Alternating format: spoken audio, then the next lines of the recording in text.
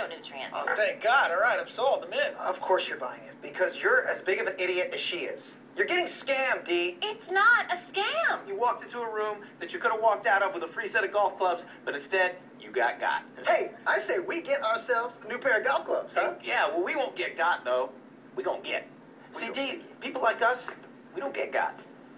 We go get. That's right. You won't see us getting scammed. No way.